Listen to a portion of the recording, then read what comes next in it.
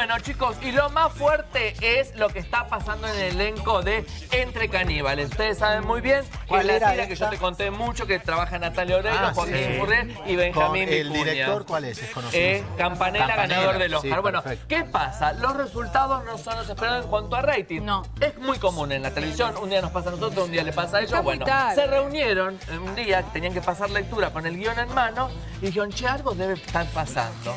Y alguien osó pensar, dice, para mí estamos en Gualicho. No, No. ¿Qué es lo que ¿A pasa quién se le siempre, ocurre señor? eso? Alguien del elenco dijo, Gualicho. algo debe pasar. Y recordaron que Joaquín Furriera hace unos días, chicos, se fracturó Sí. una vértebra Sí. y tiene ¿A que...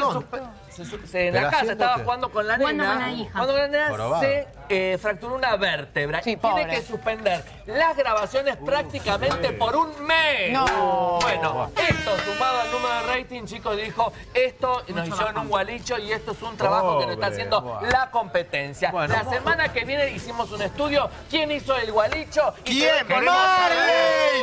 No, ¡Bravo, Ah, no fue mal. No, Ah, eh, me- hicieron ¿quién un fue? estudio y descubrieron eh, los, los brujos que viene de la manzana donde está grabando Nancy Duplá, Pablo Echarri, Las Leonas, porque ellos quieren ser los únicos que tienen rating. ¿En dónde? ¡En Telefe! El gualicho viene de ahí. ¿En serio? Bueno. Qué barato. Muy bien, Rinaldi.